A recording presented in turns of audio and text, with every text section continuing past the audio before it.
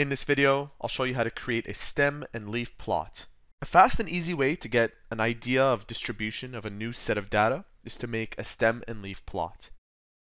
What we have to do is make a stem and leaf plot for 30 students whose grades are shown here.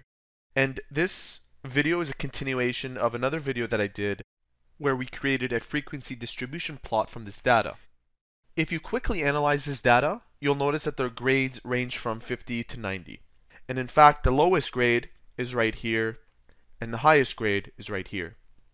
In this class of 30, we have grades that are in the 50s, 60s, 70s, 80s, and 90s. So for the stem portion of our plot, we'll write down the first digit of each of those numbers.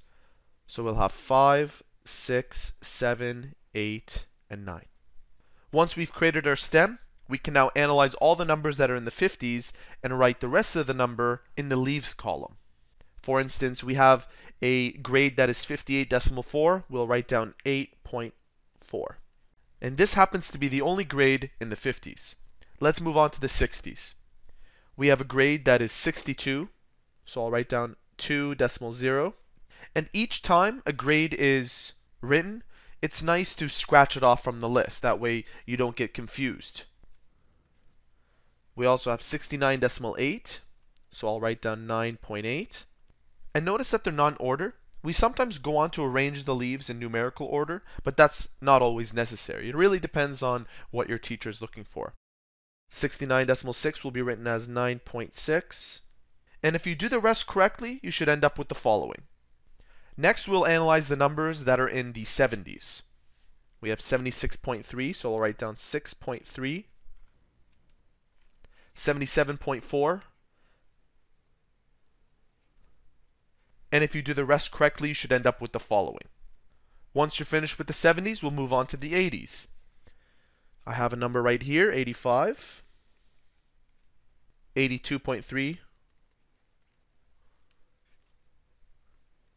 6.4, which represents this number, 4.4, and if you do it correctly, you should end up with this.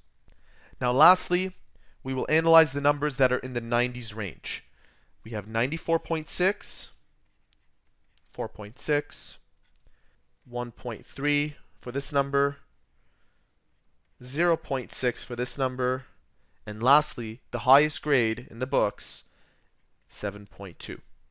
To see the shape of the distribution, all you have to do is simply turn the page on its side. That will give you an idea on where the grades are most distributed.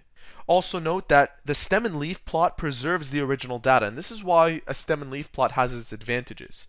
We can analyze a stem and leaf plot and still have the raw data to create other types of charts, such as a frequency histogram.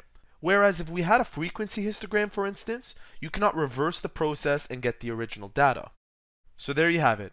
That is how to create a stem and leaf plot.